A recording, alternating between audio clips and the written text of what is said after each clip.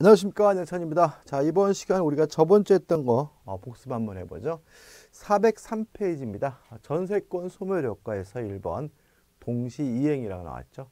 자 전세권 소멸되게 되면 어, 목적물의 반환 및 전세권 설정 등기를 말소할 수 있는 등기 서류 교부 및 전세금의 반환은 동시이행 관계입니다. 어, 따라서 여기서 중요한 문제가 생기는데 한 장을 넘겨보시게 되면 404페이지에 전세권자에게는 경매 청구권이 있거든요. 그러면 전세금의 반환과 목적물의 반환이 동시 이행 관계이기 때문에 목적물을 반환하지 않으면 전세권 설정자는 전세금 반환을 거부할 수가 있죠. 따라서 전세권자가 전세금을 못 받았다는 이유로 경매를 청구하기 위해서는 전세권 설정자의 동시 이행 항변권을 소멸시키기 위한 이행 또는 이행의 제공이 필요한 거죠. 우리 판례에 따른다면 먼저 목적물의 반환 및 전세권 설정 등기를 말소할 수 있는 등기 서류를 교부함으로써 전세권 설정자의 동시 이행 항변권을 소멸시켜야 전세금을 못 받았다는 이유로 경매를 청구할 수 있다는 것이 우리 판례 입장이고요. 어, 두 번째는 일부에 대한 전세권자죠. 자, 건물의 일부, 토지 일부, 특히 건물의 일부에 대한 전세권자가 전세금을 못 받았다는 이유로 목적물 전부에 대해서 경매를 청구할 수 있느냐? 없다. 다만 우선 변제권은 인정된다는 거 기억해 두시기 바라고요.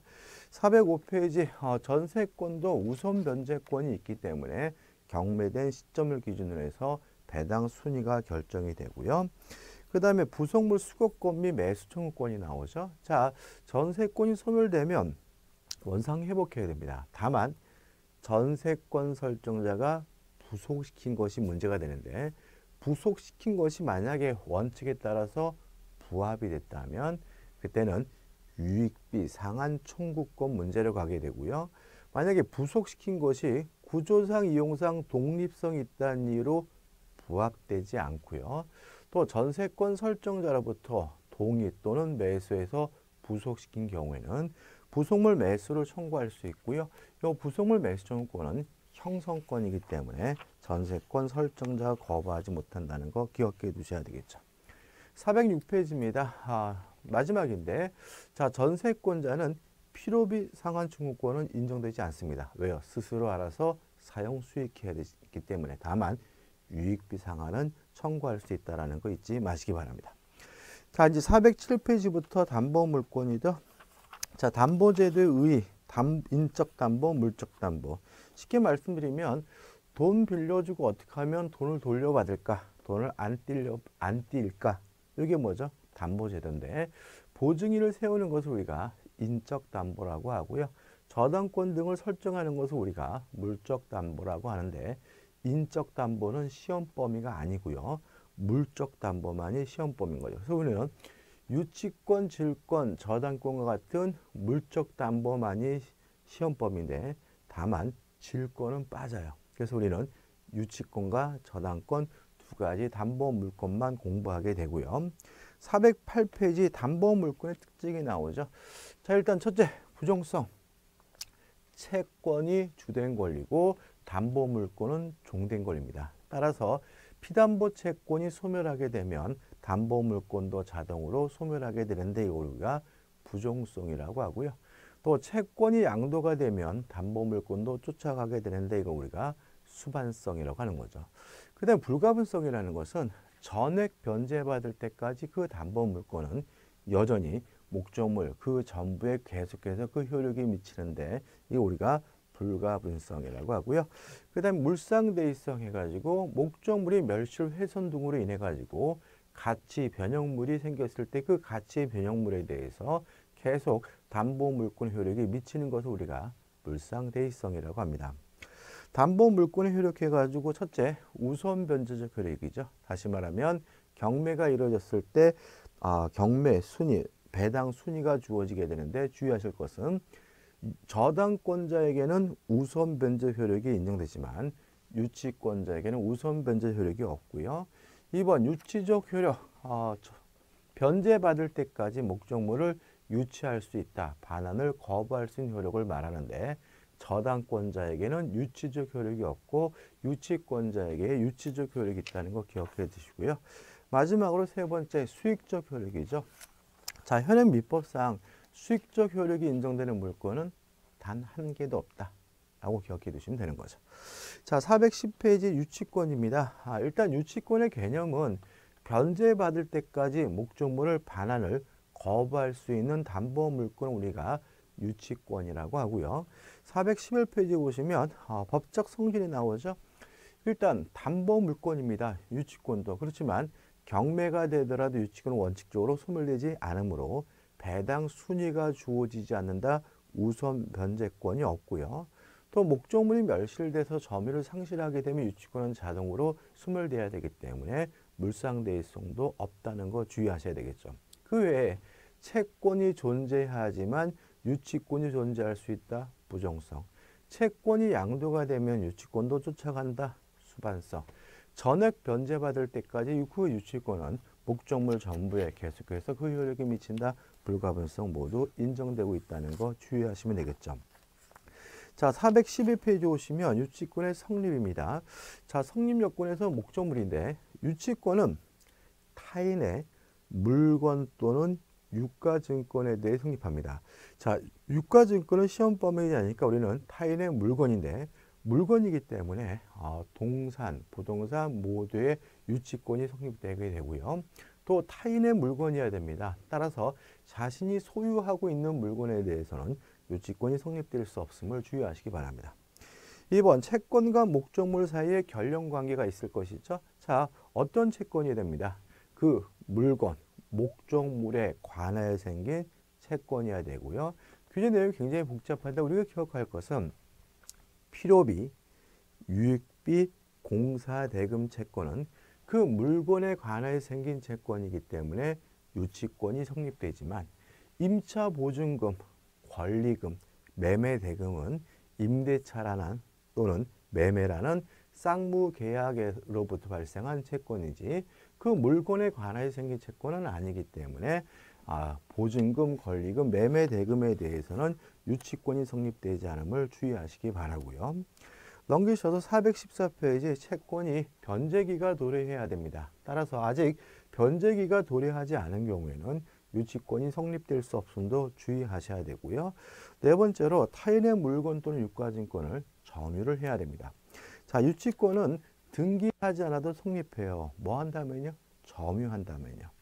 따라서 유치권이 성립하기 위해서도 반드시 점유해야 되고 유치권이 존속하기 위해서도 반드시 점유를 해야 되는데 그 점유는 직간접을 불문합니다. 따라서 간접 점유하고 있는 경우에도 유치권이 성립되고 존속해요. 다만 우리 판에 따른다면 채무자를 직접 점유자로 한 간접 점유의 경우에는 유치권이 성립될 수 없다는 것이 우리 판례 입장이고요. 또 유치권이 존속하기 위해서 반드시 점유를 계속해야 되므로 어떤 이유든지 간에 유치권자가 점유를 상실하게 되면 유치권이 뭐가 되냐면 소멸하게 되는 거죠. 따라서 유치권자에게는 물상대의성 인정되지 않고요. 유치권에 기한 반환 충고권도 인정되지 않습니다. 마지막으로 이 점유는 적법한 점유여야 하고요. 불법 행위로 인한 점유인 경우에는 유치권이 성립되지 않는다는 거 주의하셔야 되겠죠. 그다음 보시기 5번 당사자 사이에 유치권 발생을 배제하는 특약이 없어야 합니다. 자 넘겨시면 416페이지에 뭐가 나오죠? 유치권의 효력이 나옵니다. 1번 유치권자의 권리에서 첫째 목적물을 유치할 수가 있거든요. 따라서 채무를 변제받을 때까지 반환을 거부할 수가 있는데 가 부동산 임차인의 유치 방법입니다. 자, 임차인이 만약에 필요비, 유익비 등을 지출한 경우에는 유치권 행사할 수가 있는데 임차인이 원래 목적대로 계속 사용할 수 있느냐 요 문제에 대해서 우리 판례는 임차인이 원래 목적대로 계속 사용하는 것은 보존에 필요한 사용이기 때문에 가능하다는 것이 우리 판례 입장이고요. 다만 차임은 지급해야 되고 차임을 지급하지 않는다면 그 사용이익은 부당이득으로서 반환을 해줘야 된다는 것이 우리 판례 입장이죠. 그 다음 4번 유치권의 주장이죠. 자, 유치권은 물권입니다. 절대권입니다. 따라서 채무자에게도 주장할 수도 있고 제3자에게도 주장할 수가 있어요. 특히 문제가 되는 것은 경매가 됐을 때거든요. 만약에 경매 개시 결정 등기 전에 유치권이 이미 성립한 상태라면 유치권을 가지고 경락인에게 대항할 수 있고요. 경락인에게도 반환을 거부할 수가 있습니다. 다만 주의하실 것은 이 경락인에게 반환을 거부할 수 있을 뿐 직접 변제해달라고 청구할 수 없음을 주의하시기 바라고요. 4번 유치권 행사 효과. 자, 유치권이 행사되고 유치권이 적법하다고 판단된다면 법원은 원고 일부 승소 판결 또는 상한 급부 판결을 내리게 된다는 것까지 기억해 두시면 되겠죠. 그 다음 유치권도 어, 담보 물권이기 때문에 경매권 인정이 되고요. 다만 우선 변제권이 없다는 건 주의하셔야 되겠죠. 세 번째 간이 변제 충당권 해가지고 일정한 요건을 갖추게 되면 유치권자는 그 목적물에 관한 소유권을 직접 취득할 수 있는 경우도 있고요. 4번 별채권 해가지고 채무자가 파산했을 때 유치권자는 전액을 변제해달라고 청구할 수가 있고요. 5번 과실수취권 음, 과실수취할 수 있습니다.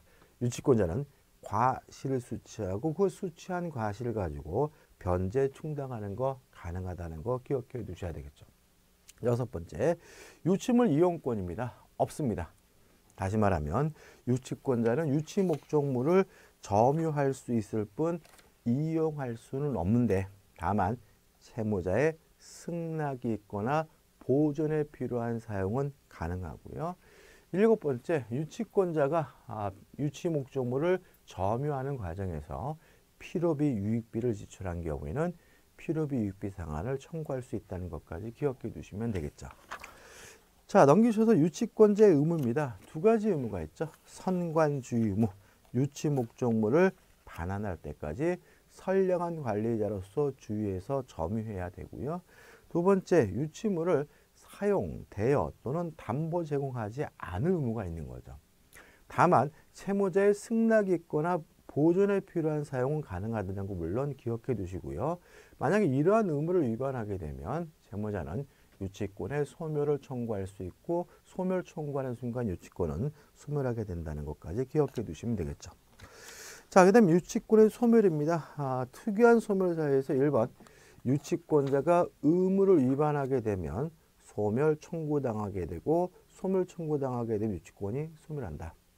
2번 채무자는 유치권자에게 어, 다른 담보를 제공하고 소멸 청구하는 것이 가능하거든요.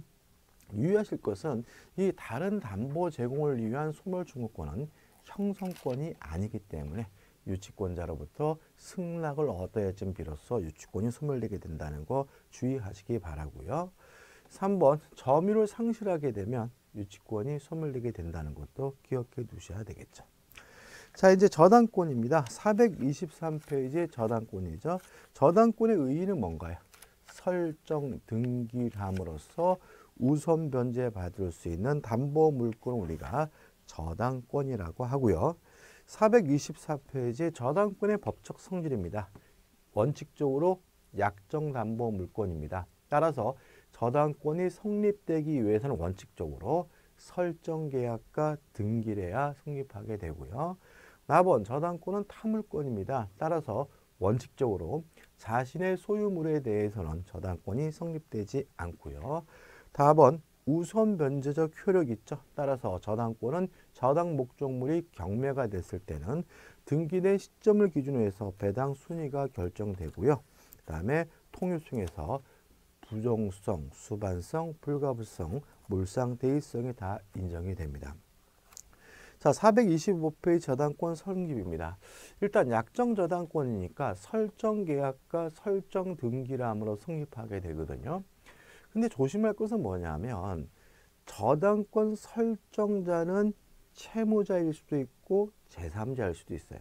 만약에 저당권 설정자가 채무자가 아닌 제3자라면 이 사람은 우리가 물상 보증인이라고 하고요. 이에 반해서 저당권자는 채권자이어야 합니다. 왜냐하면 부정성, 수반성 때문에 채권자와 저당권자는 같은 사람이어야 하는 거죠. 따라서 원칙적으로 채권자가 아닌 제3자 명의의 저당권 등기는 무효입니다. 다만 우리 판례가 예외를 인정하고 있는데 첫째, 채권자, 채무자, 제3자, 3자 간의 합의가 존재하고요. 두 번째, 그 제3자를 실질적 의미의 채권자로 이해할 수 있는 경우에는 채권자가 아닌 제3자 명의의 저당권 등기도 유효하다라고 판시하고 있다는 거 기억해 두셔야 되고요. 427페이지 설정 등기를 해야 비로소 저당권이 성립하게 되는 거죠. 등기와 관련돼서 시험에 잘 나오는 것은 저당 등기가 불법으로 말소된 경우입니다. 자, 저당권 등기가 불법으로 말소된다고 하더라도 저당권은 소멸되지 않고요. 따라서 말소 회복 등기를 여전히 청구할 수가 있겠죠. 다만 주의하실 것은 불법 말소된 상태에서 경매가 이루어지게 되면 더 이상 말소 회복 등기를 청구할 수가 없다는 점이죠. 왜냐하면 기억나시나요? 경매가 이루어지게 되면 모든 저당권은 무조건 소멸돼야 되기 때문에 그런 거죠. 428페이지입니다. 무효등기 유형, 저당권 등기가 무효인 경우에 유용, 재활용하는 거 가능한데 물론 제3자 권리 침해할 수 없고요. 그 효과가 소급되지 않음도 주의하셔야 되겠죠. 3번 저당권의 객체입니다. 부동산과 지상권, 전세권입니다. 민법상 객체만 잊지 마세요. 자, 저당권의 객체는 부동산과 지상권, 전세권이고요. 4번 피담보 채권, 저당권에 의하여 담보되는 채권은 특별한 제한이 없습니다. 따라서 꼭 금전 채권 이해할 필요는 없고요. 또 불특정, 불확정, 미래 채권이어도 상관이 없다는 거 주의하시면 되겠죠.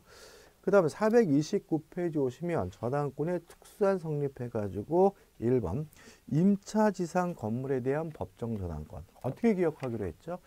자 임대인이 임차인에 대한 채권을 이유로 임차인 소유의 건물을 압류하면 법정 저당권 임차인 소유의 동산이나 과실을 압류하면 법정 질권이다. 이렇게 기억하시고 2번 부동산 공사 수급인의 저당권 설정 청구권이죠. 자, 도급인이 아, 부동산에 대한 도급 대금을 지급하지 않는 경우에는 그 부동산의 수급인은 도급인에게 저당권 설정을 청구할 수 있다는 얘기고요. 조심할 것은 이 부동산 공사 수급인의 저당권 설정 청구권은 형성권이 아닙니다. 따라서 도급인으로부터 승낙을 얻어서 설정 등기까지 해야 비로소 수급인이 어, 저당권을 취득하게 된다는 거 주의하시면 되겠죠. 그 다음에 430페이지 저당권 효력해서 저당권 효력이 미치는 범위에서 피담보 채권의 법이죠. 자, 저당권의 효력은 그 원본 채권뿐만 아니라 이자, 위약금, 지연배상금, 실행비용도 저당권 효력이 미칩니다. 주의하실 것은 원본 이자 위약금의 저당권 효력이 미치기 위해서는 등기가 필요하고요. 지연배상금이나 실행비용에 대해서는 등기 없이도 저당권에 의해서 담보가 된다는 점이고 또 하나 주의하실 것은 지연배상금은 1년분에 하나여 저당권이 담보가 된다. 이에 반해서 이자는 무제한이라는 거 꼭 기억해 두셔야 되겠죠. 431페이지입니다. 목적물의 범위 가에서 저당권 효력은 부합물에도 미치고 종물에도 미칩니다. 따라서 저당권 설정자가 1층 건물을 2층으로 중축한 경우에 그 저당권 효력이 2층까지 미치느냐 문제는 부합되느냐 안 되느냐 가지고 판단한 거죠.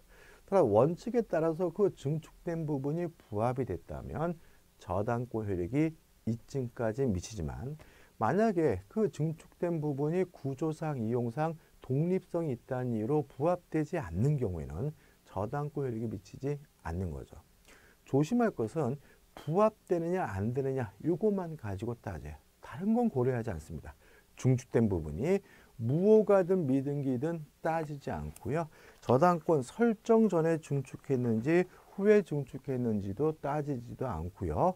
또 경매 과정에서 그 증축된 부분이 경매 목적물로 그 가치가 평가됐는지 여부도 고려하지 않습니다. 부합이 됐다면 저당권에게 미치지 않, 미치고 부합되지 않았다면 저당권에 미치지 않습니다. 433페이지죠. 과실이죠. 저당권자는 원칙적으로 과실 수취권이 없습니다.